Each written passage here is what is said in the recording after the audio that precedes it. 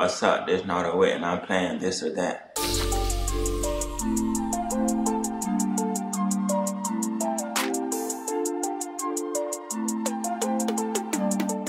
I like performing because by the time I'm performing, everyone knows that, you know, when you're recording, it's like a process.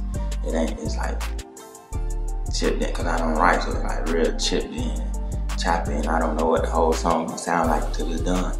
But when I'm performing it, you feel the energy more of the song. In-store shopping. I get to try stuff on. The colors, I can see the real color because you know when it's online, the colors be like a little off. I'm trying to match it with something I can, you know what I'm saying? It's easy to try it on, see how it fit on me. The, the, the quality of it, all that.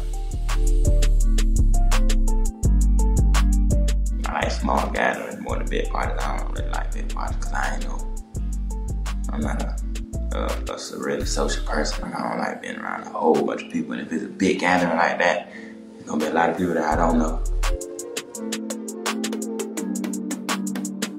I like movies because I feel like TV shows take too long. It's like takes too long to get through a movie. It's like right then, and I can get the full feeling of, I get the climax and all that right then looking at the movie.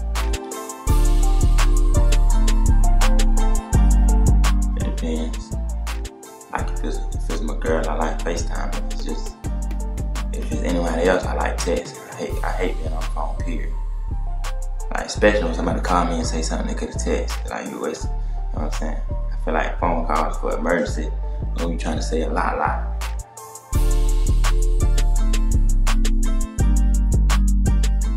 I like winter fashion. I like summer fashion too, but I like winter fashion more. Cause me, I'm from Florida, so I wear, I, I still wear winter fashion. In the summer, I wear a jacket in the summer. But in the winter, you can't wear no shorts. And a shirt, short sleeve shirt.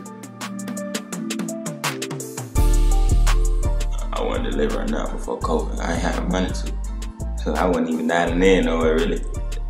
So really, with that home cooked meal before COVID. What's up? This is Nardo Wick, and I'm your BET Amplified Artist of the Month.